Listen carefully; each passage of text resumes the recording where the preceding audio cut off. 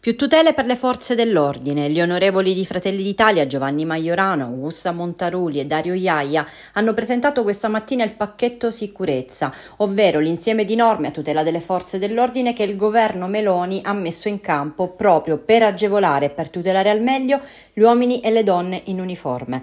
Anche se la realtà di Taranto non è poi così rosea, considerata l'età media nelle forze di polizia e gli organici carenti, per non parlare poi della contrattazione discussa di recente a livello nazionale che ha visto le polemiche delle sigle sindacali per pochi spicci riservati nel contratto. Onorevole, si parla di norme a tutela delle forze dell'ordine. Secondo lei il Dipartimento ad oggi ha la giusta attenzione per le forze dell'ordine, soprattutto su Taranto che risente di una carenza di personale?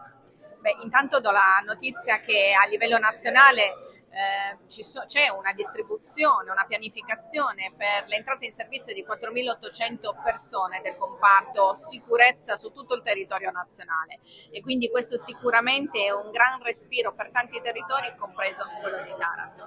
Però eh, certamente con il governo Meloni è iniziato un cambio di passo nei confronti del tema della sicurezza, si è visto fin dalle prime eh, mosse di questo governo con il coinvolgimento dei sindacati delle forze di polizia proprio sulla manovra di bilancio e da, proprio da quella manovra sono susseguite tutta una serie di provvedimenti, tra cui anche la contrattazione che sta avvenendo sul nuovo contratto che interessa questo comparto.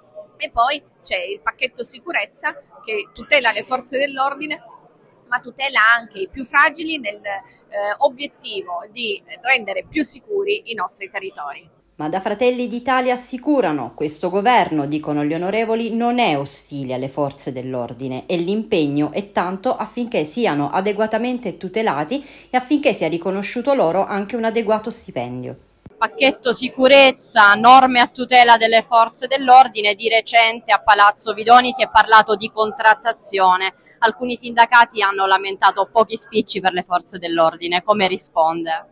Rispondo che in effetti posso condividere questa loro lamentela, ma posso sicuramente garantire che da parte nostra ci sarà tutto l'impegno possibile affinché le loro richieste possano essere eh, sicuramente eh, soddisfatte. È un momento difficile, è un momento di grande sacrificio da parte di tutte le nostre donne e uomini eh, in divisa, sia delle forze dell'ordine sia delle forze armate.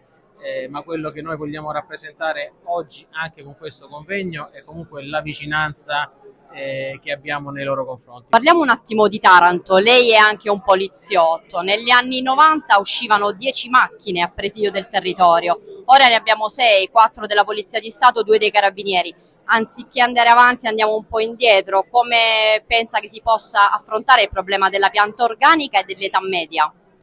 Eh, ovviamente con, uh, solo ed esclusivamente con nuove assunzioni, con nuovo personale eh, che viene arruolato e anche questo è stato fatto già nei primi, eh, nei primi mesi del nostro, del nostro, governo. Io stesso sono stato anche eh, diciamo, artefice eh, del, dell'ampliamento di alcuni posti messi a concorso nella Polizia di Stato, nei Carabinieri, quindi sicuramente ecco, è anche quello in questione economica. Sicuramente c'è stata già l'attenzione di questo governo per poter ampliare. Adesso c'è una nuova ripartizione su tutti i territori di nuovo personale perché in effetti, e lo condivido, soprattutto al sud l'età media è molto più alta rispetto al resto d'Italia e sicuramente una nuova linfa, una nuova, ecco, nuovi innesti di nuovi, nuovi operatori sicuramente potranno, potrà essere d'aiuto alla sicurezza della città.